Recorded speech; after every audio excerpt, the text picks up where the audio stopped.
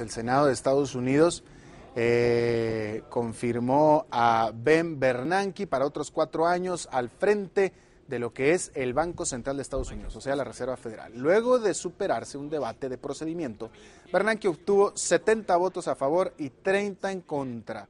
Para conseguir la confirmación necesitaba 51 votos. Hay que destacar que se trató de un triunfo bastante ajustado. Varios senadores demócratas del mismo partido del presidente Obama, quien fue que lo propuso para la reconfirmación, se opusieron a esta, argumentando que Bernanke, cuyo primer mandato termina el domingo, fue corresponsable junto con George Bush de las causas de la grave crisis financiera que estalló a fines del 2008.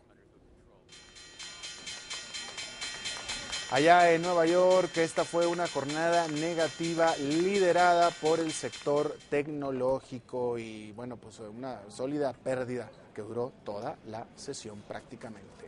Al cierre, el índice industrial Dow Jones quedó con una caída de 1,13% en los 10.120 puntos, el Nasdaq Composite cayó 1,91%, quedando en los 2.179 puntos, mientras que el Standard Poor's 500 Perdió 1,18%, quedando en los 1.085 puntos. En América Latina, resultados mixtos. El IPC de México con una ganancia de dos tercios de punto porcentual.